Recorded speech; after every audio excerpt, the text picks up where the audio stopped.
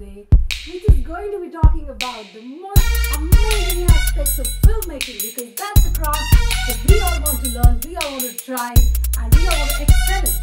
So, therefore, hi friends, welcome back to my vlog. In today's vlog, I'm going to talk about this beautiful discovery that I've made called the art department. I come from the non-fiction world of news and documentaries, and there we hardly use art. We go with what is available on location, what's reality, and we try to film it in the best way possible and present it to the world. But in the fiction world that I now live in, art department is the best thing. The art director, the set designer, the set constructors, the set boys, all of these people are wonderful talent who can convert an empty room into a place in history or a place in future or something out of your imagination or whatever it may be. But trust me, without art direction, fiction projects are so dull. I have experienced it, and I would say that there's so limited talent out there. There's so few art directors out there in the market.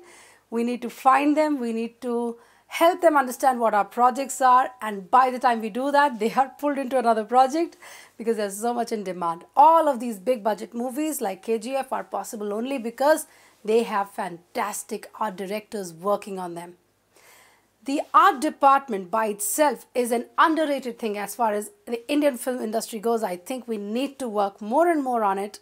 We need to start giving more and more importance to art. We need to groom talent. We need to take people from the art schools and then help them understand how art and set design works and try to bring them onto the sets to learn how to give us props that go in the foreground, how to give us props that go in the background, and set lighting props and all kinds of variety of things that go in to making a set or a frame look really colorful, bright, brilliant and conducive to the story that we have set out to tell. Without art, it's almost like painting without colors. So friends, I suggest you to go out there, help your friends who are artists and creative to groom themselves to becoming set designers and art directors because the more of them we have it, the more colorful our sets will be.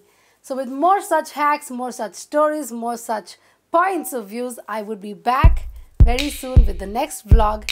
Stay tuned. See you soon. With more of your thoughts, your points, your experiences, what have you learned? I would like to learn from you